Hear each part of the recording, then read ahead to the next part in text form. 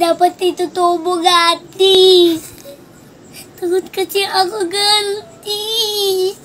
Sino sabing magluno ka kasi ng bubble gum? Kain ako ng kanin. Bakit ka kakain ng kanin?